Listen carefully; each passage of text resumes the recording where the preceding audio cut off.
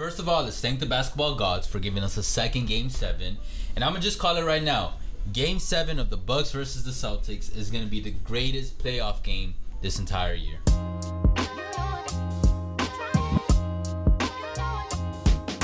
Before we get into the game and all that, I just want to ask Erwin, how do you feel about this? Because Erwin's prediction was that the Bucks were gonna vanquish the Celtics in like game five or six, and that it was destiny that the Bucks and the Heat were gonna meet in the cel- uh, the conference finals for a trilogy. But now, I'm not so sure. I know what you're trying to do, man. You're trying to like get under my skin or piss me off. I'm good, man. The Heat, they're resting. You know, they're waiting for whoever is in the conference finals. While these two motherfuckers, man, they kill each other right now in a slugfest in Game Seven. So it's a win-win situation, baby. Well- Basketball fans, they get a Game Seven with two Yeah. young superstars in Jayson Tatum and Giannis. And y'all, Uh, those are factual superstars. Yeah. Ain't no denying that. yeah, exactly. And I think you're underestimating though the tiredness, man. Because if the Celtics win, those are two how you like to say it, spring chickens that are. I don't think they're gonna be as tired as as uh, you think they may be. maybe not tired physically as bad, but mentally.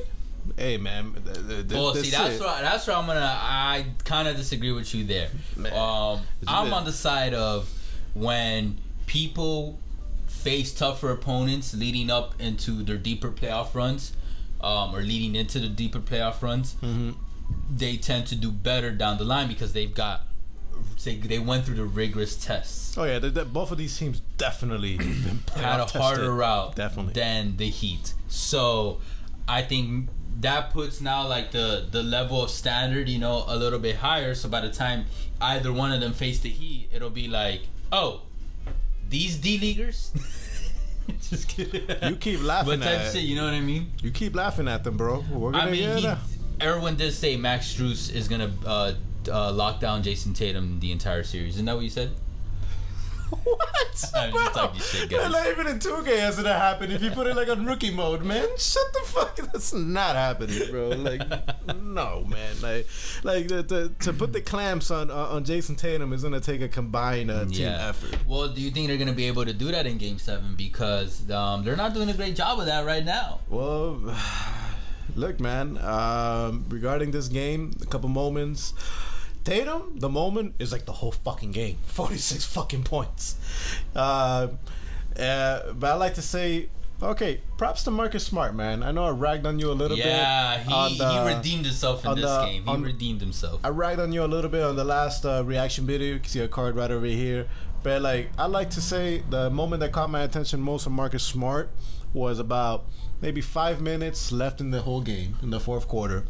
The Bucks, they were doing the run. They were keeping they were- in. they kept trying and trying they and trying. They were trying. Like the uh, the Bucks got as close as uh, four, and then like you know the Celtics trying to put them away. Got up to ten. Marcus Smart makes a three, put it up to thirteen. Starts Yeah, like calming things down. So I'm like, all right, pretty cool, man. Like uh, he stepped up. Cool, kudos with that. I mean, one defense I'll give to Marcus Smart, which I agree with after uh, uh, thinking about the game and then hearing other opinions too. We we do have to, you know, part of the blame does fall on Mar- Marcus for the last game's uh, debacle. But at the same time, why did Marcus Smart have the ball in his hands in the last few minutes, last minute of the, especially the last play of Game Six? You know what I mean? Yeah. Jayson Tatum, Brown, those are the Batman and Robin of the Celtics. They're the top two. Why aren't you guys going to taking the ball up court? And with four seconds left, that's still a decent amount of time. I think I heard some analysts and other opinions like exaggerating how much time that is. I kind of disagree with that, but it is more than you know than two point something seconds. It's enough time where like, bro, Tatum, the ball, boom, boom, boom. Mm-hmm. Okay, so that one I do. That's when I was like, okay, that make yeah, it makes sense. Looking back, like Smart doesn't deserve too much criticism. He shouldn't have had the ball in his hands in the first place to begin with. No, right. You're spitting facts, and um, I got something else that makes sense for you guys. So, guys, we have been making uh, uh, in-game, well, not in-game. We've been doing reaction videos to every single game in the postseason, raw, like you know, right after. So, whether you're a Bucks fan, whether you're a Celtics fan, I know it sounds like an ad.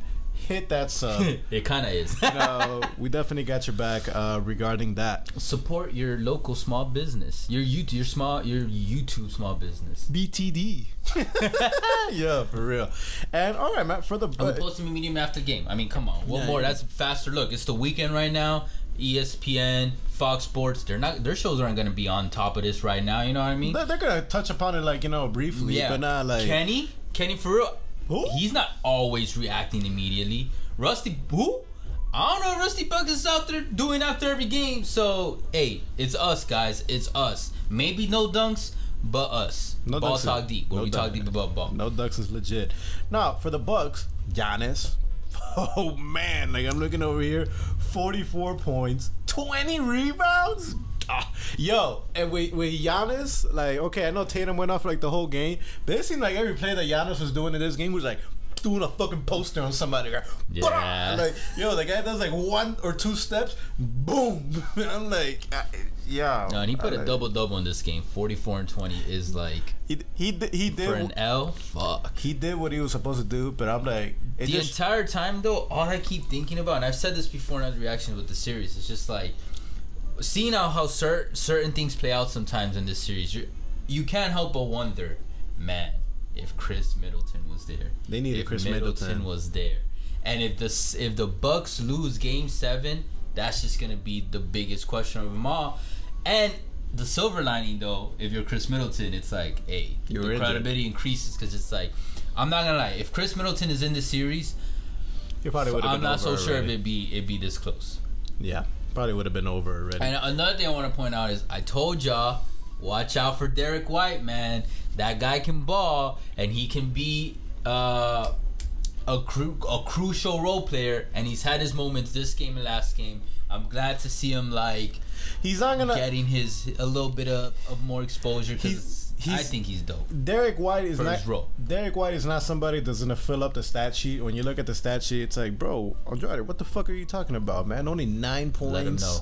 five rebounds, Plus uh, nine on the floor. two assists on thirty minutes, man. That was that was okay. But I'm And like, two steals. But what you gotta see, man, is this guy's doing the dirty work.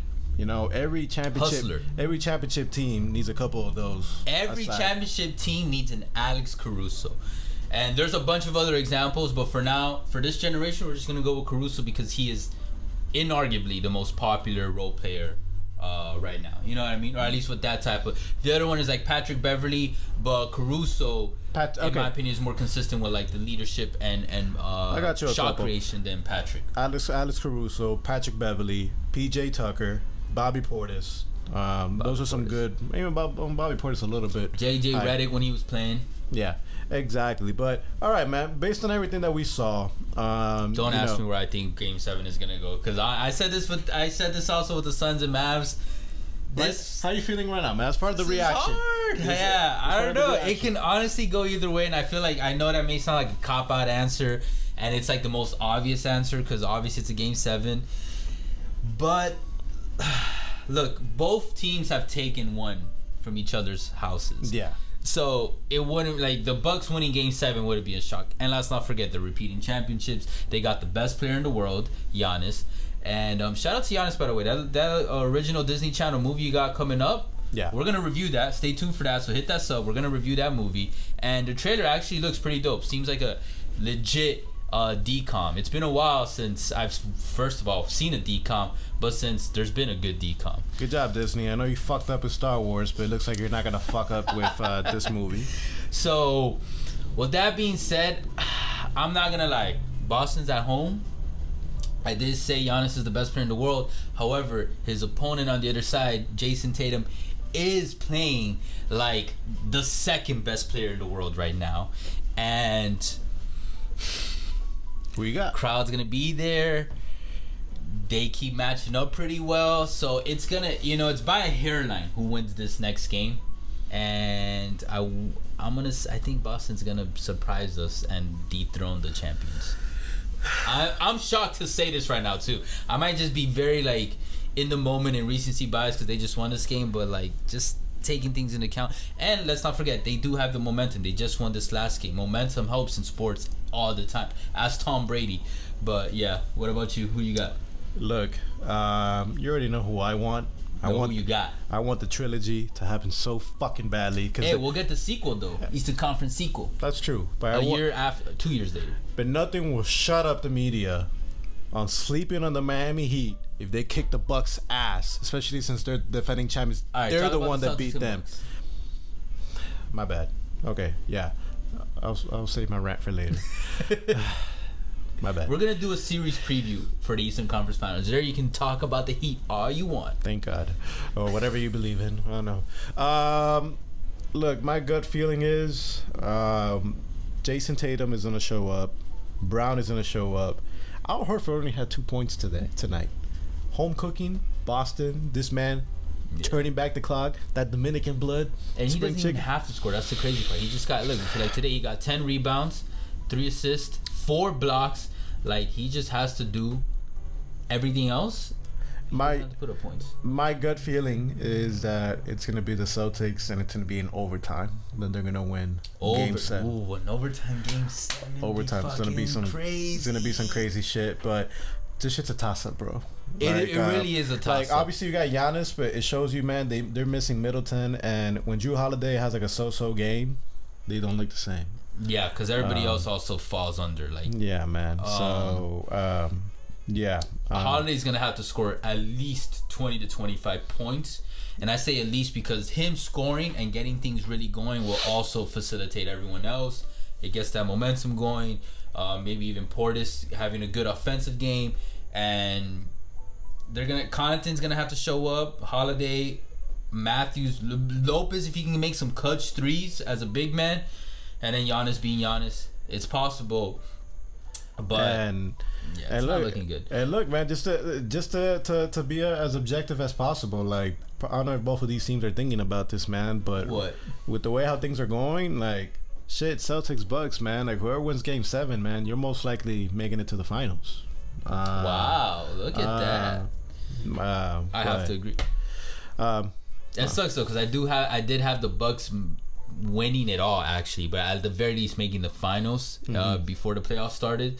So I mean, this is obviously with a healthy Bucks. This is when Khris was uh, Middleton was on. exactly. That But, throw, uh, that that throws a wrench into it things. does. That's why I. But then one thing I do want to point out, guys, if the Bucks happen to lose this series, I know this is gonna sound left field, but it makes sense. Something I brought up from the get go when uh, Middleton went down. It's like this could be Giannis's LeBron series. He's already getting compared to LeBron because he's the best player right now. He's getting all the media coverage. He's gonna get all the negative, all the criticism, everything LeBron went through for all the 2010s.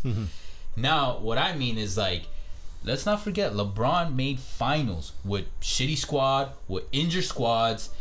You know, remember Kyrie and Kevin Love went down. Um, and I thought, shit, if Giannis wins it all or even makes the finals, that solidifies, especially if he won it all, like top top 15 player of all time. I all think- time. I think he already's pretty close to that, man. He's a- close, but he's, not he's a- solidified. he's a back- If he did that with his second best player out, solidifies it. He's a two-time MVP. Yeah, you know, but look- champion. If they lose Game Seven, then that goes to show what LeBron did during those late mid 2010s to late 2010s was so special, and we didn't fully appreciate. Especially majority of people did not fully appreciate him lifting these people to the final. You guys get what I mean? Yeah. So that like if he loses, like oh shit. In a way, it kind of like also strengthens LeBron's historic legacy, and I, that's just something I thought about like on a macro, connecting the dots, and I was like, damn, this could really happen. But Giannis, if you're able to pull this game seven off, and then you go against the Heat and you get past the Heat, if you do, then Thank you. If you do, you're not, you're um, not yeah, assuming know, that we they never do. know. All they right. probably will though. But I mean, if you're struggling against the Celtics, but I, in my opinion, both of these teams are better than the Heat. Uh, and I'm a Heat fan, but I'm gonna be objective. Both of these teams, Nah. overall, better than the Heat.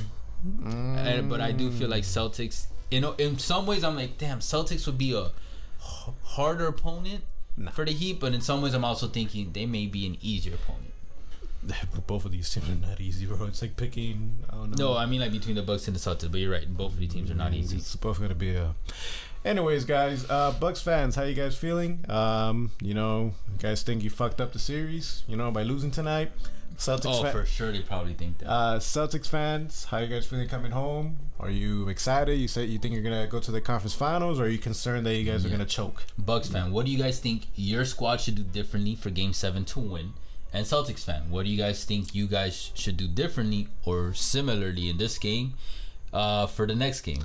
And both fans, I love Game Sevens. like, okay, um, I know you're gonna like the story of Giannis. Like, what do you think about the Giannis movie that's coming up? I think that's a great story. Yo, good, I think that's good. something that everybody can like get behind. Huh? Yeah, Uh, it kind of reminds me of I forgot what it was called, but that that decom of the the twin sisters that made it. I think they both made it to The the, WNBA. I know who you're talking yeah, about. that movie was. There were some dope basketball movies from Disney. That one, Luck of the Irish, Yeah, that, that was, was dope. I slept on. And I think those are the only. Oh, and then of of course, get your head in the game. Oh God. I All don't right. know how you don't like High School Musical, man. That was a fucking dope era, man. That shit was dope. If you don't think HSM is dope, you- you're whack. Difference of opinions. All right. Anyways, uh, appreciate all the love and the hate. If we cross 10,000 subs by the end of this year, guys, me and Erwin will do a, a choreo to get your head in the game. That's all I'm gonna say. Vanessa Hudgens can still get it. Um. Anyways, guys, appreciate all the love and the hate. You guys already know Facebook, Twitter, TikTok, Instagram, all podcast streaming platforms. We'll catch you guys soon. For now, Take later. care.